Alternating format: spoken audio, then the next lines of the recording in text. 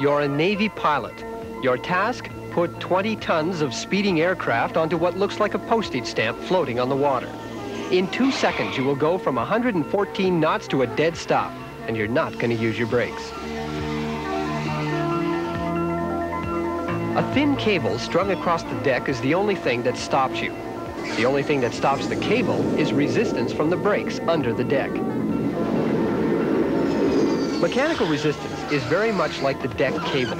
It offers an opposing force to the motion of an object and affects its rate.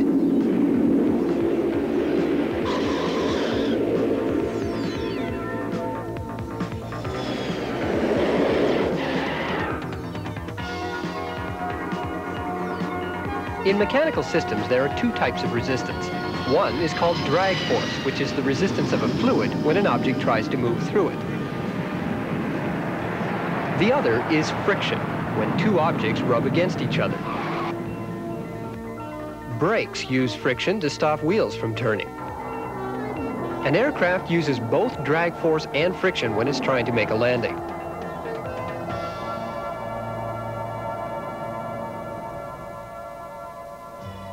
Let's look at the first case. Consider all the forces that are acting on an aircraft when it's in flight. The wings, of course, provide lift, which keep it in the air. This is opposed by the force of gravity trying to pull it down. The engine or engines provide the force of thrust to push it forward. And this is opposed by the drag force, or the resistance of the air, which tries to slow the aircraft down. Drag force is one of the biggest obstacles a high-speed vehicle must overcome. More than half the work being done by the engine is simply pushing the air aside. What the drag force affects is the rate of the vehicle or its speed. So the mechanical resistance is the drag force divided by the rate, the speed. The same is true for boats and ships. They spend almost all their energy plowing through the water. As the boat accelerates, the resistance in the water increases. Soon, the resistance is as powerful as the force from the engine, so the boat can go no faster. In this case, the drag force of the water is also trying to slow the skier down, which is good because it keeps his rope taut. Wind tunnels intentionally create drag force, so technicians like Lane Ito can measure how shape affects fuel economy. This is the test section of the Boeing Transonic wind tunnel. Here we simulate airplanes flying through the air at their regular speeds. This airplane is connected to a six-component balance. It measures all the forces that are applied to this airplane. The main force that we're worried about is drag. Drag is something that occurs in everything. If you ever been uh, riding in a car and you stick your hand out the window, if you stick it straight out, you feel that resistance right away. It'll push your hand right back if you're, if you're going at a, a decent speed.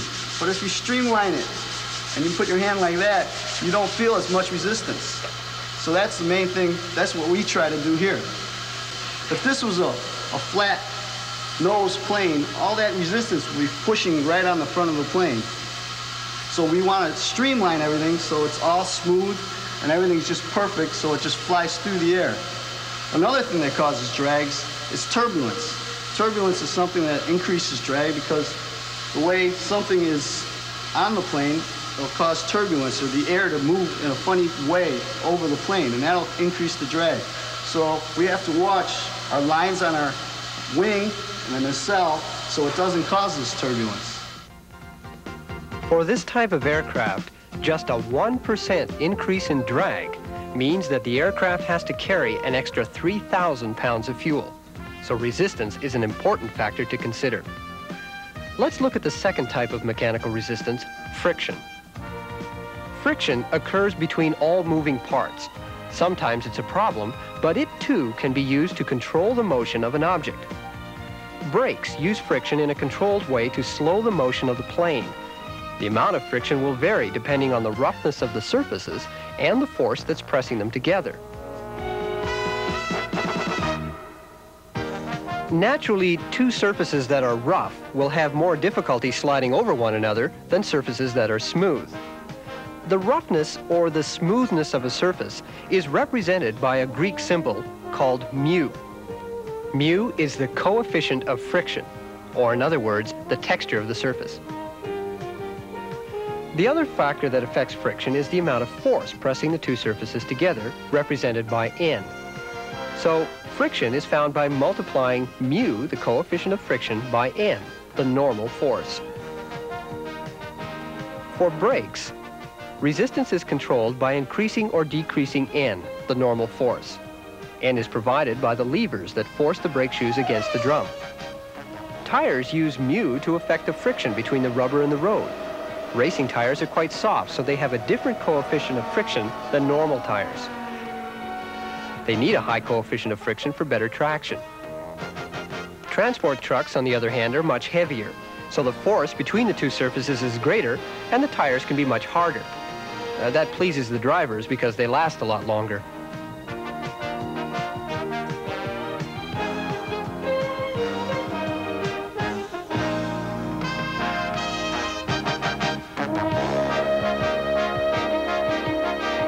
Have you ever noticed how it always seems harder to get something moving than it is to keep it moving?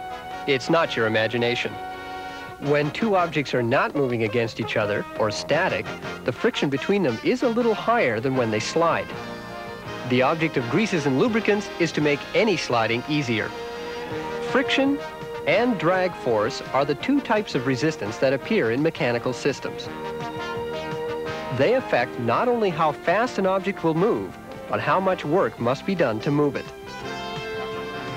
See if you can spot which is being used in these examples.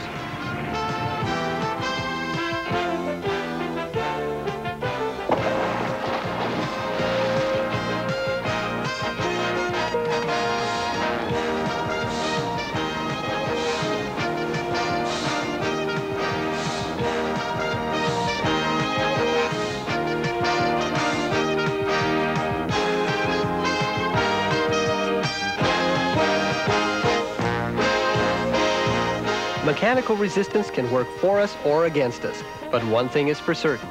Life would be very difficult without it.